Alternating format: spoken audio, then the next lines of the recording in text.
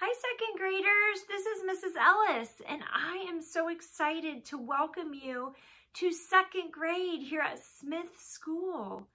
I cannot wait to meet you.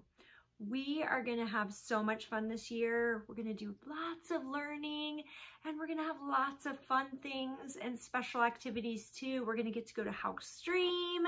We're to get to do the Muse Machine program. It is to be fun and I know that you are going to love second grade as much as I do. And I can't wait to meet you.